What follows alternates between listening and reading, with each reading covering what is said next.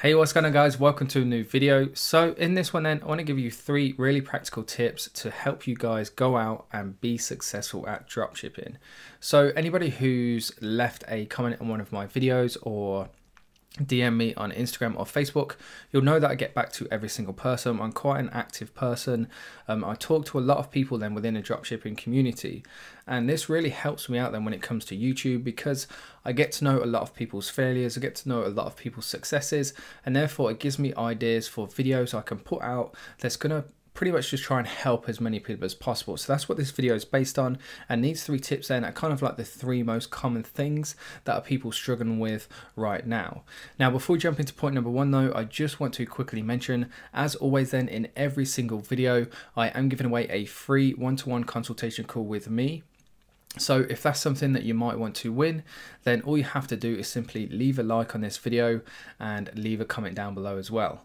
And if you come to my previous video then, just make sure you stay tuned to the end of this one where the winner will be announced. Now I just want to quickly mention as well is that I am uploading a video or at least I plan to right now. Um, I'm uploading a video every single day in June and therefore I'll be giving away 30 free consultation calls just in June. And with that being said then, let's jump straight into point number one. So point number one then guys, um, forgive me if I keep looking down. I'm working from some notes on my phone just to make sure I don't forget to mention anything.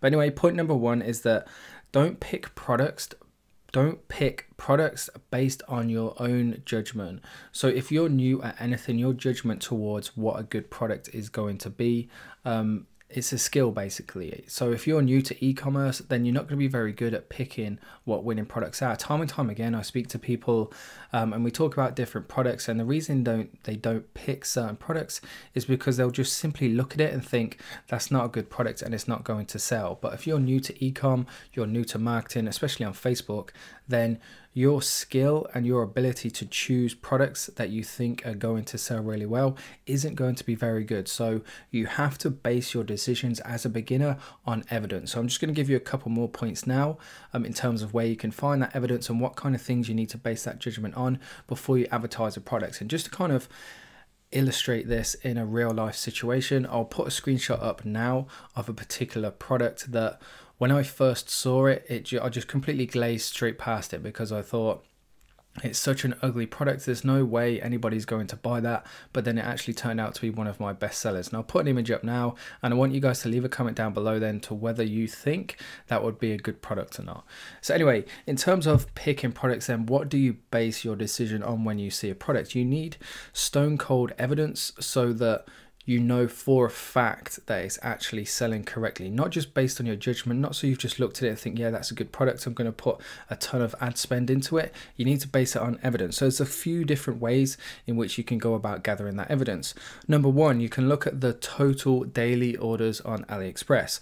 So if you've got the dropshipping center um, on AliExpress, everybody has access to it. If you simply Google it, you can find a link that will take you directly to it where you activate it and you can put a product URL then into the dropshipping center and it's going to tell you the daily orders for the past week and a sign then of a good solid strong product that's selling consistently is you want but somewhere around the kind of like 3% mark. So if a product has a thousand total orders then a sign of a really strong selling product right now um, would be a product that has 3% of a thousand orders which works out at about 30 orders a day I think if I've done the math correctly.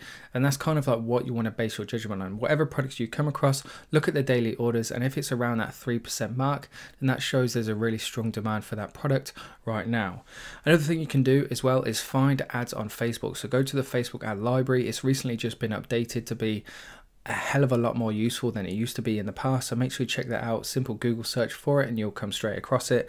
And the other way is, is simply to use the Facebook search bar, put the product in, followed by get yours or buy here. And you'll find a ton of different videos probably related to the exact same product.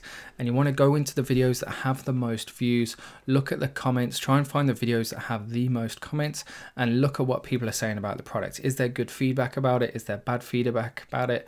Um, are people tagging their friends saying you need this? Are people saying they want it themselves? Are people even better? Are people even saying they have bought it and they like the products? Because again, there's stone cold evidence there that people are actually buying that product and it's in demand. And then the third and final way in which you can find evidence about a certain product is go to the exchange exchangemarketplace.com where people sell their Shopify stores. Find Shopify stores that aren't private listings. So um, listings that actually show the URL of the store. Go to the store, use certain um, Chrome extensions like Commerce Inspector, go straight to their best sellers.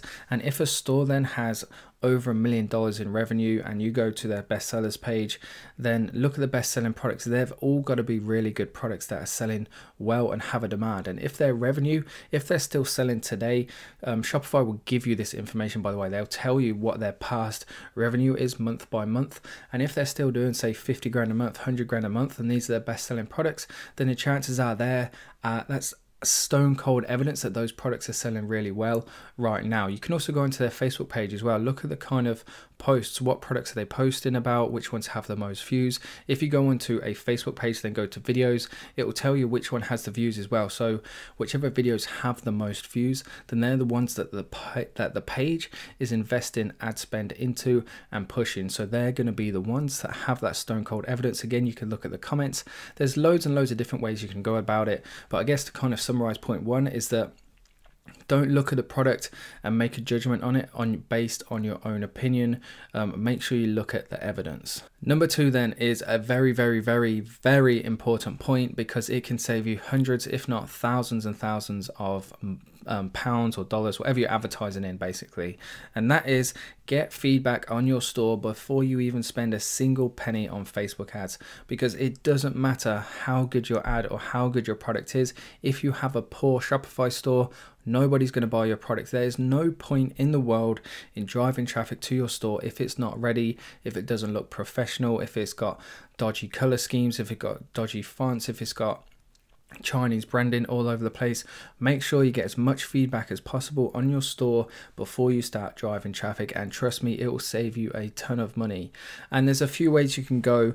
Um, about gathering this feedback then you can go into facebook groups and as long as it's okay with the moderators the group that i run there's a link in the video description down below then people then feel free to post your store link in there and people are actually really active um, on average in fact you're looking at probably 10 different people giving you feedback to your store which is um, really valuable information it's going to help you improve your store and essentially save you money. It's a free way that will 100% save you money. If you have a poor store, I can't emphasize this enough. I see it so many times.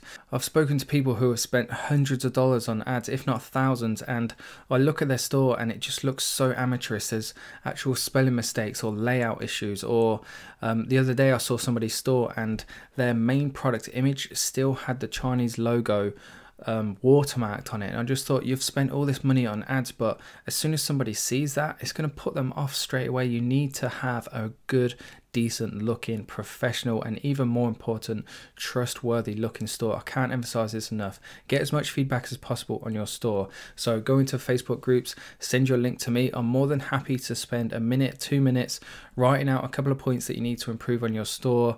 Um, for example, get rid of the tax notes on product pages. Um, because I do get so many requests that I can't give you a ton of detail. Um, if you wanted to pay for, a lot of people pay for 10 minute consultations, but instead of actually speaking one to one, I'll just record record like a video review of their store. So if you want me to do that, by all means.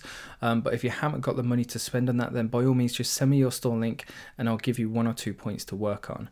So yeah, number two then is get feedback on your store before you start spending money on Facebook ads. So once you've got some feedback on your store then and you're more than happy with it, then you're going to start marketing. You're going to move into Facebook ads, which leads us on to point number three, which is keep it simple when it comes to Facebook. Facebook as a marketing platform is the best, in my opinion, but it's probably also the most complicated as well. So when you're first starting out, you need to keep it as simple as possible. And I mean this in all respects as well. So, number one, you need to structure your ad manager logically. The amount of people I've seen um, inside their ad manager accounts and they haven't named their ad sets, they haven't named their campaigns.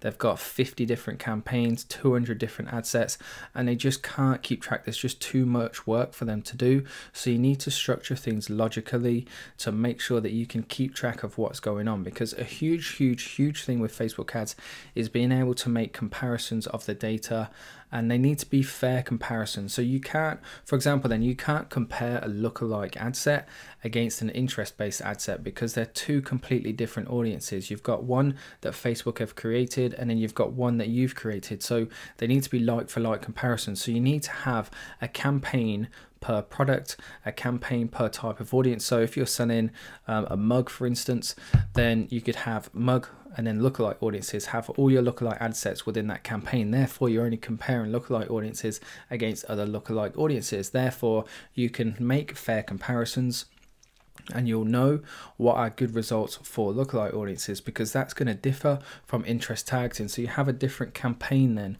for it can be the same products but it's going to be a campaign and the audiences then is going to be interest tags so you can compare those against each other when it comes to naming your ad sets as well you have to name them um, logically to what the tagging is. So when it does, when you have got a list of 50 different ad sets, you don't have to go into it to know what you're targeting. So you can make those initial comparisons and spot the data.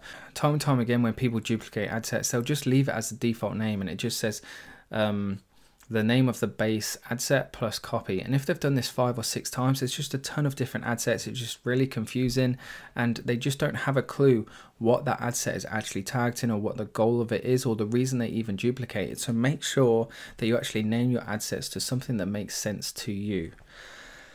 Moving on, then, make sure that you focus on one product at a time. Um, I spoke to somebody recently who was a beginner when it comes to Facebook ads, and they were trying to advertise six different products at the same time. And even today, now, um, within general stores, certainly I'll only ever focus on one product at a time. Even within niche stores, there's usually at a very most four, maybe even five products that I'm really pushing at that time to try and manage six different ones as a beginner um, not only will that require, require require a ton of money it's going to require a ton of attention as well so unless you've got like a significant amount of time to dedicate to looking over the numbers and focusing on one product at a time, um, then you're just biting off more than you can chew. So just keep it simple, focus on one product at a time. Moving on to the next point then, which is also quite important, is that you don't need a ton of ad sets to make a lot of money. Um, there's loads and loads of reasons why you shouldn't be running a ton of different ad sets. Now, when it comes to testing, that's completely different. When you're trying to just make money, once you've done the testing, say, in fact, once you've done the testing and you've got those ad sets that are really performing well, then focus on scaling that handful of ad sets. Like even to this day, per product, I'll have three, maybe four, maybe even five really well performing ad sets.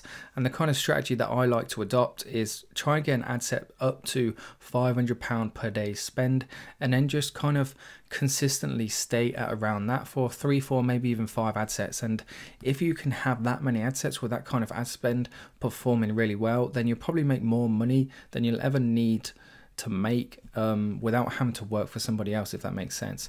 So just focus on those select few of ad sets for a number of reasons, really. Number one, there's going to be less time managing.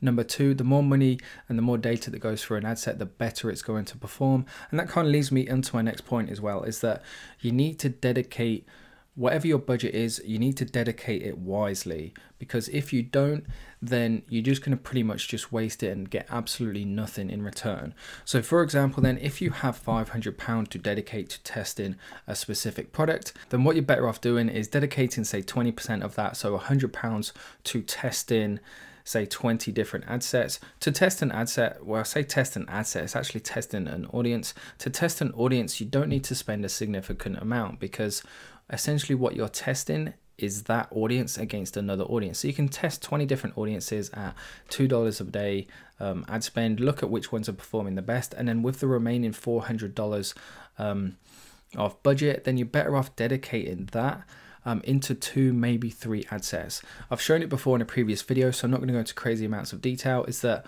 I'm in the dog niche and when you look at the ad sets as an overall and you look at the amount spent versus the ROAS versus the cost per click versus the CPM, then again I've shown this in a previous video you can clearly see that once an ad set gets to about $150 ad spend then that's when the ad set starts to settle down it starts to optimize and it starts to produce efficient and consistent results. So if you've got that $500 ad spend as a budget and you split that across 10 different ad sets, so $50 per day on each ad set or $50 just per ad set over whatever time, then you're not going to give a single one of those ad sets enough time to optimize and bring those results. So essentially, you're spending the same amount of money, but you're going to get absolutely nothing in return. So you're better off putting all of that budget into say two maybe three ad sets. So each ad set is say spending $125 because then you're giving it more of a chance to optimize and actually start bringing in consistent sales. That's another thing that people ask me about. It's a common thing people ask me about is that um, my ad set got one sale this day, got two sales the next day, and then absolutely nothing for three days. And then the first question I ask them is, How much have you spent on that ad set? And very, very, very rarely, in fact, I don't think I've spoken to anybody yet who said that they've spent more than $100 on the ad set. And it's just not enough time. With Facebook, what do you, you've got to take Facebook back to essentially what it is. That's what people forget about. They just go blindly into Facebook ads, not even considering what it is they're doing. Facebook works on past data if you've got an ad set that has $30 of ad spend versus an ad set that has $300 of ad spend, the one with $300 of ad spend is going to have a ton more data compared to the other one. Therefore, it's going to perform more consistently and more efficiently. So you have to give ad sets time and you have to give them budget to spend. And that being said then guys, that concludes all the notes I wanted to go through in this video. Um, if you're still watching, then thank you very much. I really appreciate everybody who watches these videos all the way through because it really helps grow the channel we're fast approaching 6,000 subs, which is just crazy. So thank you very much to everybody who's watching. Um, and if you did enjoy the video, if you did find that one golden nugget that you didn't know or that you really think is going to help you, then make sure you leave a comment down below um, just to let me know basically. And with that being said then guys, if you're still watching, um, I'm assuming you enjoyed the video. If you did, then please do make sure you leave um, a like and if you want to be entered into that raffle for the one-to-one call, then of course, please leave your comments down below. In fact, if you're still watching um, and you found something valuable in this video, like that one golden nugget, leave that as your comment down below because I want to know then what you guys um, are learning from these videos. And with that being said then, let's get into announcing the winner of the previous video. So here we are then guys on the previous video. Um, in this one then, I showed you three products that each made over 10,000 US dollars profit. So if you haven't watched the video yet, make sure you go and check it out. Um, anyway, let's get into announcing the winner. I'm just going to take the URL in the top left, head over to the random comment picker, get YouTube comments. We had 42 comments, which is absolutely awesome. So thank you very much.